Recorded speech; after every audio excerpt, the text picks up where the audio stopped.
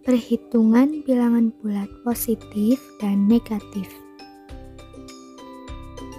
Kita akan mencoba penjumlahan dan pengurangan bilangan bulat positif dan negatif ya.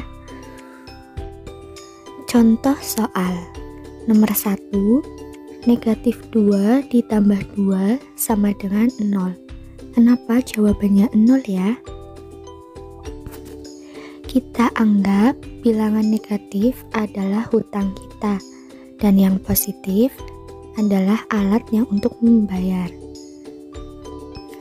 Jadi, kita punya hutang 2, kemudian kita membayarnya lagi dengan 2. Maka hutang kita tidak ada lagi ya. Jadi jawabannya 0. Soal nomor 2, negatif 3 ditambah 7 sama dengan 4. Kita punya hutang 3, kemudian kita membayarnya dengan 7.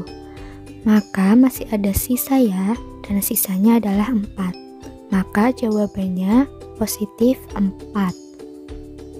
Soal nomor 3, negatif 4 ditambah 1 sama dengan negatif 3. Kita punya hutang 4, kemudian kita membayarnya dengan 1. Berarti kita masih punya hutang ya. Jadi jawabannya negatif 3. Soal nomor 4, negatif 5 dikurangi 2 sama dengan negatif 7. Jadi kita punya hutang 5, kemudian kita hutang lagi 2. Maka hutang kita bertambah. Jadi jawabannya negatif 7 ya. Coba kamu kerjakan soal-soal ini ya.